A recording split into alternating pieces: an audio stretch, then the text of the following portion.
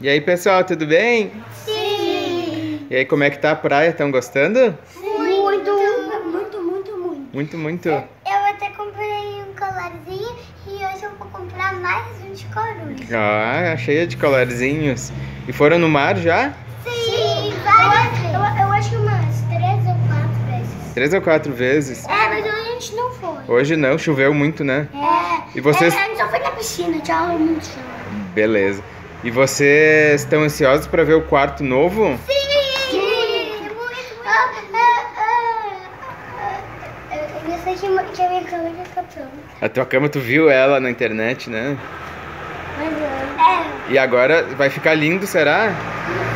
E ainda eu e o Marcelo vamos, decidir quem vai dormir em cima. Bom, vocês vão decidir ainda, O né? Marcelo que quer dormir em cima. E tu também? Vamos decidir quando chegar, Ah, né? Vai mas tudo bem, percebe. A gente, a gente vê quando chega, né? Então dá um tchau aqui. Tchau!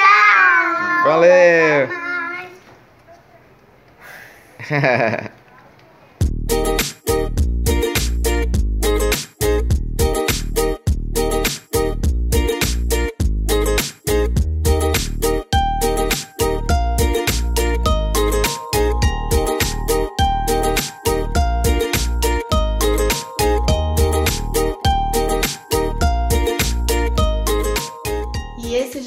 terceiro dia das nossas reformas.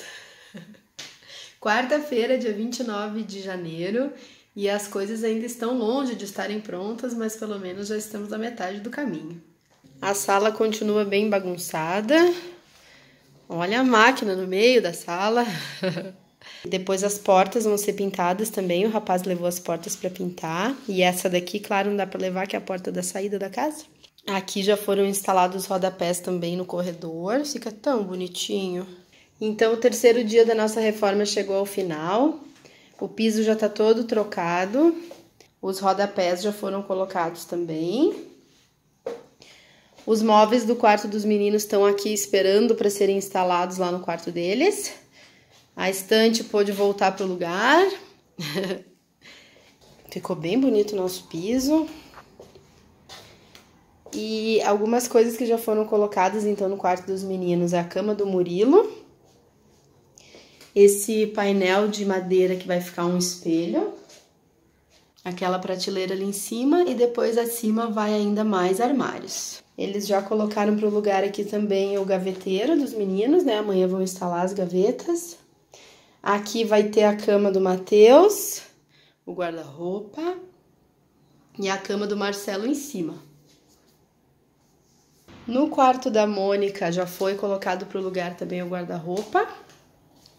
O rodapé já foi instalado. Ali vai ser feito um negativo que eles chamam para encostar na parede. Já foi instalado também de volta a bancada dela. Eu tô cada dia mais cansada porque não tô dormindo muito bem também nesses últimos dias.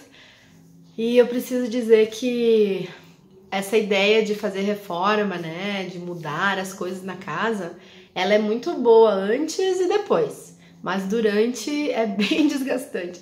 E eu não tô falando só sobre não tô falando só sobre o, o fato de estar tá bagunçada a casa, de ter muito pó, de ainda mais assim trocando piso. Apesar de o pessoal que tá trabalhando aqui ter sido super pontual, ter conseguido fazer tudo dentro do prazo e as coisas estarem andando muito bem, é uma coisa muito desgastante. Então, uh, eu acho que tudo se agravou para mim porque eu tô já faz quatro dias longe das crianças. Então, fica aquela movimentação maluca na casa durante todo o dia, mas daí chega o final do dia e eu tô sozinha.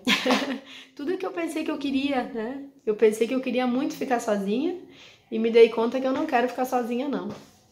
Tô sentindo muita saudade deles. Eu não durmo bem porque tô sozinha, fico preocupada com eles à noite e daí meu marido me conta ali, né? Me me manda mensagem me dizendo como é que as coisas estão indo. E toda noite eu falo com eles, a gente faz uma chamada de vídeo assim de uns 5, 10 minutos mais ou menos. Mas claro que não é o suficiente para matar a saudade, né? Então tá sendo bem complicadinha essa parte aí também. Eu não vejo a hora que eles voltem, eles vão voltar sábado. E Mas tá dando tudo certo, eles estão se divertindo lá na praia, muitas coisas legais estão acontecendo lá, né? Eles estão indo no mar, estão indo na piscina e estão lá convivendo bastante com a família do meu marido, né? E tá sendo tudo dentro dos conformes, mas eu tô bem sozinha, abandonada aqui tô sentindo muita, muita, muita, muita, muita falta deles. Muita.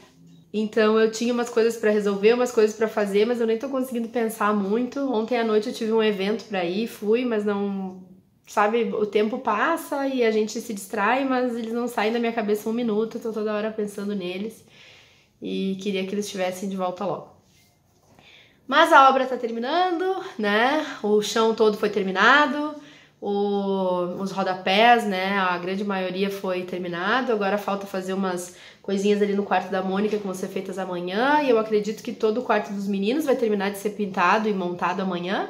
E o próximo vídeo aqui do canal vai ser então com com a reação deles quando eles virem, né, a casa toda modificada. Então eles vão chegar sábado, vão ver a casa como é que ficou e eu vou gravar essa reação para vocês. Claro que o 100% do quarto pronto e das reforminhas aqui da casa, quando tudo, tudo, tudo estiver pronto, ainda vai demorar acho que mais uma semana. Tem que fazer depois que terminar tudo, tem que fazer a instalação do papel de parede do quarto dos meninos também. E o rapaz que vai pintar aqui as portas e, e os marcos das portas também vai ficar, eu acho que para sexta-feira só. Eu provavelmente eles não vai terminar, mas depois que tiver tudo bem terminadinho, bonitinho, daí a gente vai tirar umas fotos bem boas e daí que eu vou poder mostrar mesmo como é que ficou tudo no geral. Então vai ser, acho que só daqui mais uns 10 dias que eu vou ter esse vídeo prontinho com 100% das coisas terminadas. Continuem acompanhando a gente, as crianças estão na praia e tá tudo bem com eles e eu tô aqui sozinha, com saudade. Mas tá tudo certo. Até mais!